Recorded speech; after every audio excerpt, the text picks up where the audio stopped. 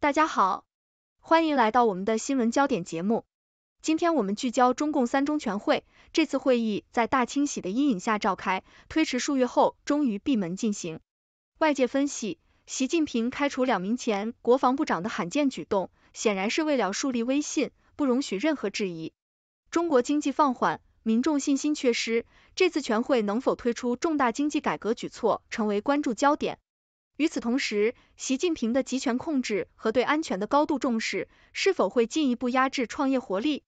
官媒强调改革不是改变方向，但能否挽回国际投资者的信心？请大家继续收看详细内容。中共三中全会在大清洗阴影下召开，二零二三年的中共三中全会在一片阴霾中悄然拉开帷幕，推迟数月的闭门会议，仿佛在预示着一种不祥的气息。二十天前。前国防部长李尚福和魏凤和被开除党籍、军籍，这一罕见之举似乎已为这次会议定下了基调，一切围绕习近平进行，不允许任何质疑存在。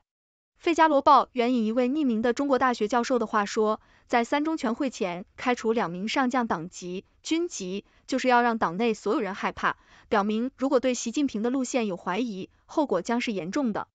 习主席在经济放缓的巨大压力下召开这个通常应提出重大经济方略的三中全会，旨在重申两个维护，即维护习近平核心地位和党中央权威。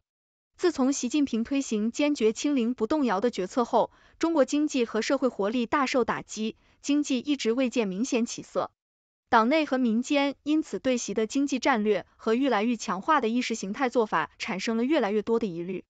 中国官方提出的今年经济增长目标为百分之五，这是自一九九零年代以来最低的增长目标。根据投资银行 Natixis 的评估，中国的经济增长可能从二零三零年起降至百分之二左右。恒大房地产集团因欠债三千亿美元破产，无疑敲响了靠轻易贷款刺激发展模式的丧钟。青年失业率创下纪录，消费萎靡。根据中国国家统计局的数据显示，六月份社会消费品零售总额同比增长百分之二点零，远低于五月份的百分之三点七。在这一背景下，三中全会能否推出重大经济改革举措，令人拭目以待。一些怀念邓小平改革开放时代的人担心，习近平的集权控制将熄灭这个新生巨人的创业活力。观察中国政治的人士分析。三中全会的不正常拖延，反映出党内的分歧，而习近平本人拒绝直面经济问题。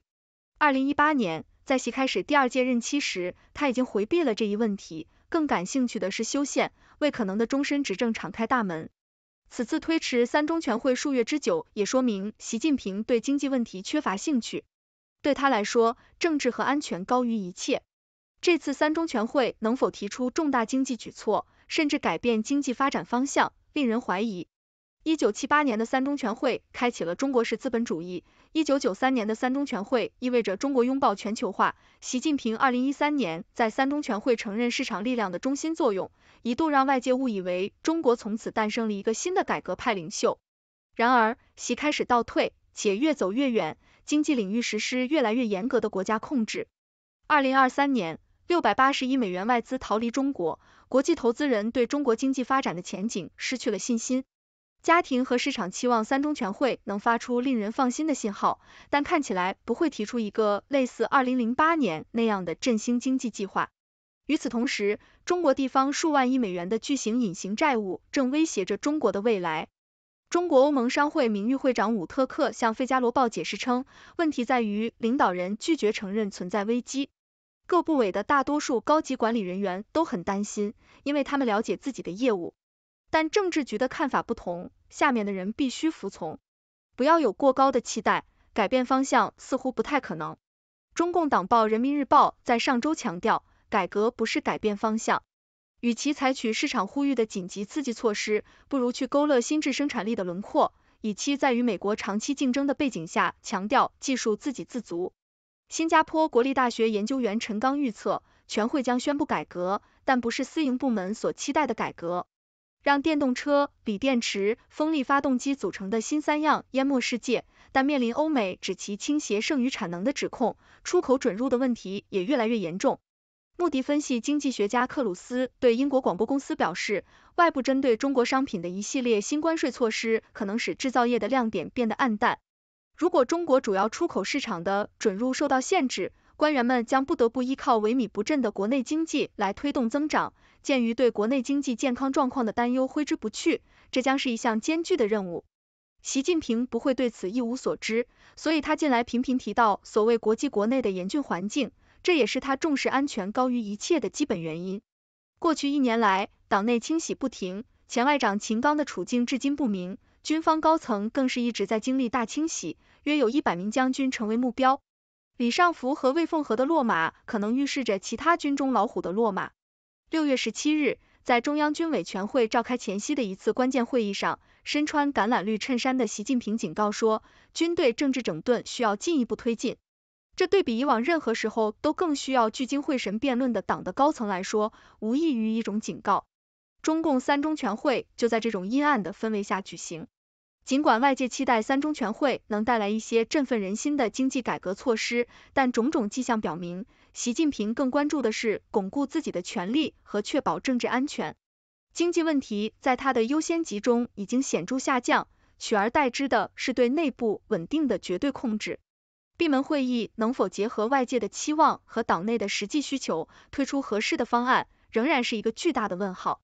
无论如何。当前的中共三中全会已经成为一个权力斗争和经济困境交织的复杂局面，习近平能否在这个危机四伏的时刻稳住局面，值得持续关注。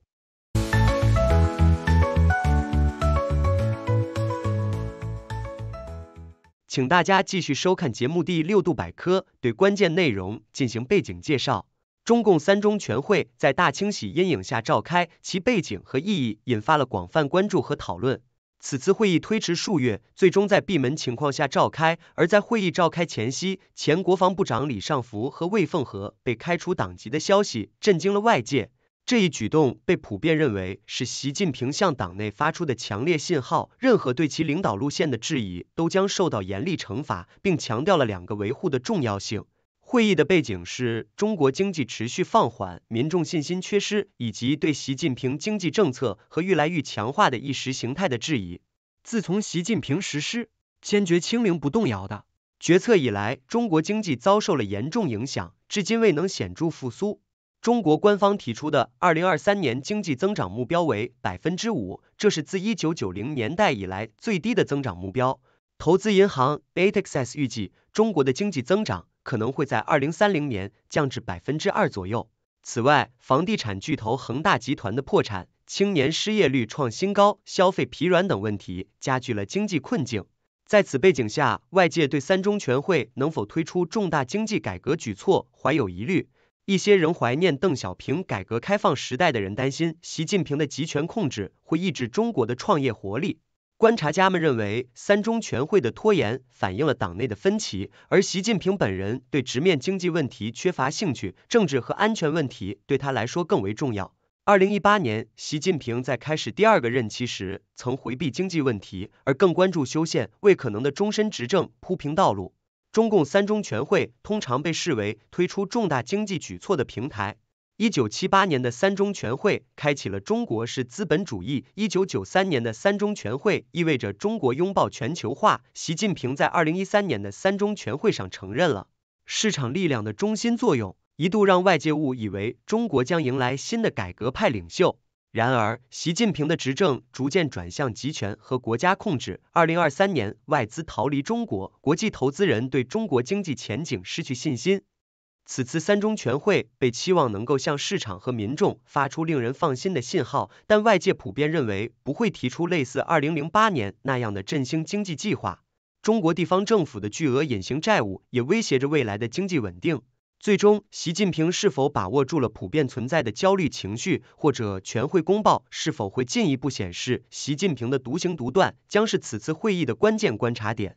中国欧盟商会名誉会长伍特克指出，领导人拒绝承认存在危机，各部委的高级管理人员对此感到担忧，但政治局的看法不同，下面的人必须服从。改革的可能性不高。人民日报强调，改革不是改变方向，在与美国长期竞争的背景下，中国可能会更加注重技术自给自足，而不是采取市场呼吁的紧急刺激措施。同时，外部的关税措施也可能使中国制造业的前景黯淡。如果主要出口市场的准入受限，中国将不得不依靠疲软的国内经济来推动增长，这将是一项艰巨的任务。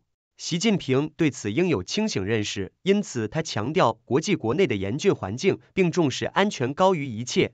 过去一年，党内清洗不断，前外长秦刚的处境不明，军方高层经历大清洗，约有一百名将军成为目标。总的来说，三中全会在这样的阴暗氛围下举行，会议的成果和影响将对中国未来的经济和政治走向产生深远影响。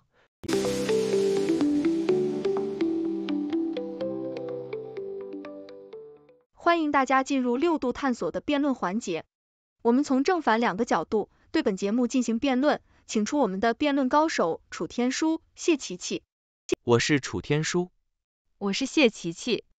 各位听众朋友们，我们从历史中可以看到，每次中国共产党召开三中全会，总是会带来一些新的政策和方向。虽然这次会议是在一片猜测和担忧中进行，但我们不妨回顾一下一九七八年的三中全会。那时中国经济还在谷底，正是通过一系列改革开放政策创造了经济奇迹。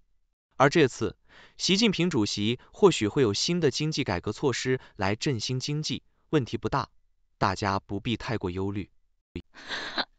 楚天舒，你这样说，我真是笑得差点掉下椅子。你别忘了，现在的情况可和一九七八年不一样了。当时是邓小平主导改革开放。而现在，习近平的路线是强调政治控制和意识形态，不是经济改革。再说了，恒大破产，青年失业率创纪录，外资逃离，你居然还说问题不大？你是住在火星上吗？谢琪琪，你这有点搞笑了吧？你说的这些问题确实存在，但别忘了中国经济的韧性。从历史来看，中国在面对国际压力和内部问题时，总能找到解决的办法。比如，一九九三年的三中全会通过市场化改革，使得中国经济迅速融入全球经济。这次，我们也应该对中共高层的智慧和决策能力抱有信心。习近平主席在国际国内都面临压力，正好是大刀阔斧改革的良机。哦，楚天舒，看来你对智慧和决策能力的定义和我有点不同。要知道，习近平在过去几年强调的是国家安全高于一切，这怎么能和经济改革混为一谈呢？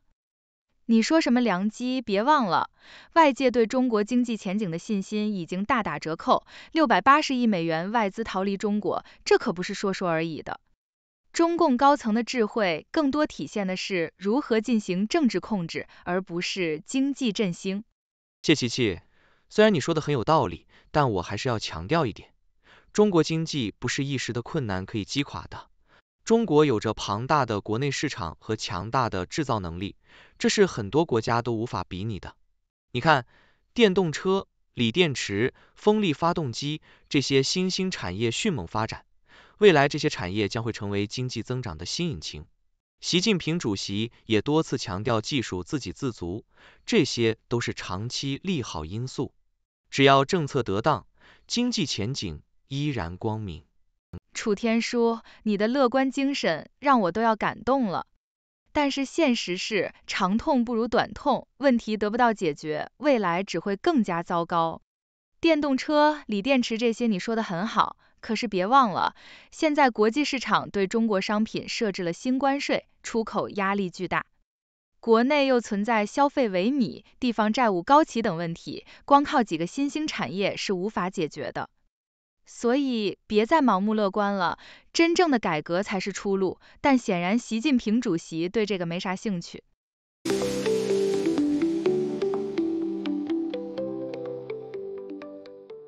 请大家继续收看节目的六博士的分析评论。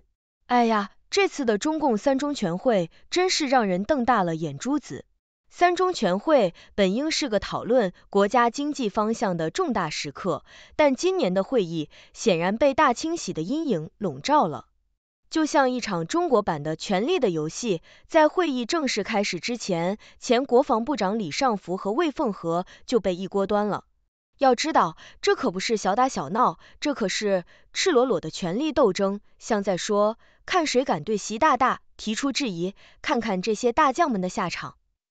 整个党内气氛瞬间紧张到连根手指都不敢动。一个匿名的中国大学教授满腹心事的说道：“这次的清洗就是为了让党内每个人都乖乖听话，不然等待你的就是同样的命运。”然而，习近平的挑战不仅仅在于党内的权力掌控，更在于外界对他经济战略的质疑。中国的经济情况已经不是当年的风光无限，经济增长目标定在百分之五，这在过去是不可想象的低水平。投资银行 Natixis 评估，中国的经济增长可能从二零三零年起仅剩百分之二。而且，恒大债务危机、青年失业率创纪录、消费疲软等问题，都像是一块块大石头压在习近平的胸口，让他喘不过气来。大家都在等着三中全会能否推出一些振兴经济的措施，可惜习大大好像对经济问题并不感冒。他更关心的是政治和安全问题，甚至有分析人士认为他在回避经济问题，完全不走邓小平的改革开放路线。习近平对经济问题的冷淡态度，显然让外界十分担忧。国际投资者已经用脚投票了，二零二三年有六百八十亿美元的外资撤离中国，这可是个不小的数字。人们期待三中全会能带来一些让市场和民众安心的信号，但很明显，这次会议不会提出类似二零零八年那样的大规模经济刺激计划。尤其是面对地方政府数万亿美元的隐形债务，经济前景并不乐观。著名的中国欧盟商会名誉会长伍特克一针见血地指出，领导人拒绝承认危机的存在。而高级管理人员们则是忧心忡忡。这种上面的人不懂，下面的人不敢说的现象，恐怕是中国经济前路的最大隐患。说到改革，许多中国观察家们已经不抱太大希望。尽管习大大可能会宣布一些所谓的改革，但这些改革似乎并不是私营部门所期待的那种。比如电动车、锂电池、风力发动机这些新三样或许会被大力推广，但这也面临欧美市场的指控和关税壁垒。穆迪分析经济学家克鲁斯指出，如果中国的主要出口市场受到限制，依赖国内经济来推动增长将是巨大的挑战。这也是为什么习近平频频提到国际国内的严峻环境，他更加重视安全问题，试图在内外压力下保持稳定。总结一下，这次三中全会在大清洗的阴影下召开，党内气氛紧张的像瓷器店里的猫，经济问题被搁置一旁，领导层更关心的是政治稳定和安全。尽管外界对中国改革的期待仍在，但实际情况却让人失望。经济前景不明，内部债务问题严重，再加上国际市场的压力，让中国经济面临前所未有的挑战。诸多问题悬而未决，三中全会能否带来突破，恐怕还需要时间验证。这个闭门会议究竟会推出什么样的政策，我们拭目以待。